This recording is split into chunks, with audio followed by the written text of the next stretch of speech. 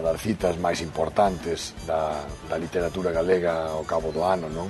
eh, os premios xerais son todo un referente non só xa en Galicia, senón tamén fora dela e eh, para,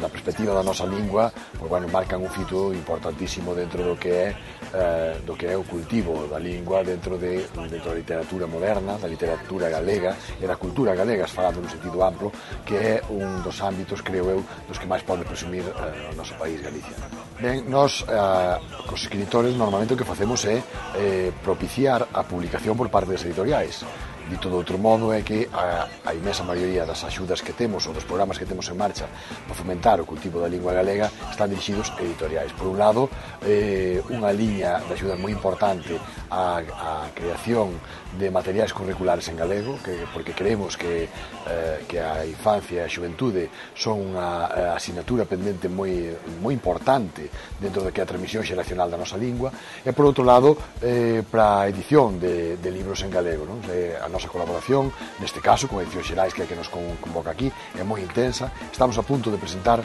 eh, presentamos este ano pasado o dicionario Xurídico, por exemplo, da lingua galega, que é un paso adiante importantísimo nun ámbito no que temos que estender moitísimo uso como é o ámbito da xudicatura eh, editado por edición xerais. Estamos agora a punto de presentar xa a súa edición digital que poderá ser utilizado por todo o persoal que traballe nos xulgados na administración autonómica na administración local de Galicia. É un paso moi adiante moi importante por poñer un exemplo que é eh, inmediato xa eh, con edición xerais de Galicia.